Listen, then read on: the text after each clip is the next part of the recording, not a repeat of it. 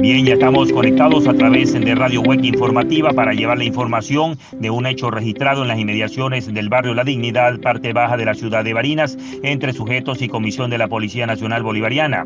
Pudimos conocer que los funcionarios realizaban labores de patrullaje debido a la cantidad de denuncias formuladas por el robo de vehículo moto.